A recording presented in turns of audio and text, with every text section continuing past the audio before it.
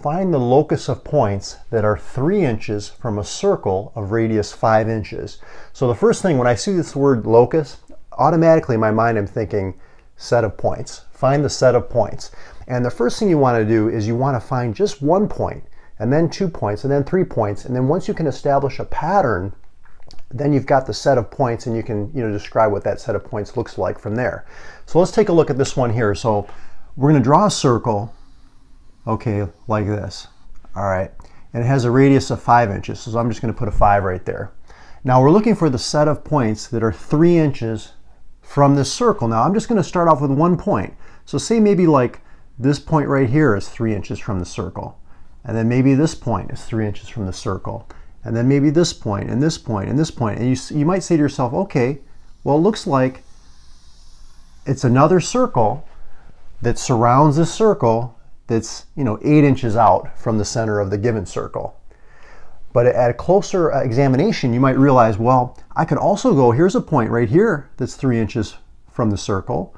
Okay, and over here, this is three inches from the you know, edge of the circle and three inches and three inches. And as you go ahead and uh, establish that pattern, you say, well, here's another circle that's actually inside that circle and it has a radius of two inches. So our solution set, okay, or our set of points or our locus okay, is these two circles right here. I'll just darken them. This inner circle and this outer circle. Okay, and you can describe them, you know, a circle with radius 8 inches, a circle of radius 2 inches, uh, that are concentric or have the same center as the given circle of radius 5 inches. So are you with me so far? Let's look at another example and you'll start to get a sense of how to do these. The next one says, find the locus of points that are 2 centimeters from a given line. First thing you want to do is you just want to draw that given line. So there's the line right there.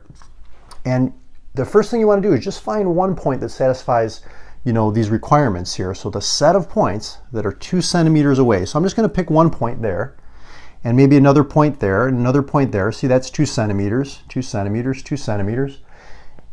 But you can also see, okay, wait, if I go down, okay, like that, on the other side of the line, also two centimeters away, what I end up having is another line that's parallel to the given line, okay, that's ab above and below that given line, okay, two centimeters away. So we basically have two parallel lines that are uh, four centimeters apart and they're parallel. So you can describe that in words. But again, start with one point, build on that, find a few additional points, establish a pattern, and then go from there. Now the ones that we're doing in this uh, video, these are all in a plane. So this is just in a two-dimensional plane following this video, I'm going to have another video where we're going to do it in three-dimensional space. So you can check that out if you want to do some more advanced problems. But we're going to start with these basic ones in a plane. Okay, two more examples. Hang in here with me. Uh, find the locus of points that are equidistant from two points. Okay, so first thing you want to do is just draw those two points. I'll just draw them with like a little X, okay, just so they stand out a little bit more. And let's see, so equidistant. So equidistant would be like, well, there's a point that's equidistant right at the midpoint, right? But then you might start thinking a little bit further and say, well, what about this point? That, that distance and that distance are going to be the same, right? Well, how about over here? Okay, that distance and that distance are going to be the same. How about down here? And so what you start to realize is that, okay, here there's this line right here that's going through the midpoint, okay, that connects these two points, and it's perpendicular. So you realize, hey, this is the perpendicular bisector of the segment that connects the two given points. So that would be the solution. It's the perpendicular bisector uh, of the segment that connects the two given points. Okay, last example. Find the set of points. Notice I, notice I even didn't even say the word locus because I just start get used to saying set whenever I see locus. Find the set of points that are equidistant from three non-collinear points. Now this is a, a good one, a little bit more challenging one, and you might remember this from geometry, but say I have three points that are not in a straight line, they're not collinear. So what you can do is you can actually form a triangle, okay, out of these three points like so. And what you want to do is, again, you want to find, you know, the set of points that are uh, equidistant from those three collinear points. And you might say to yourself, well, if I try to draw a point here, it's going to be closer to these two points, but further away from, from this point over here on the left, right? And same thing over here.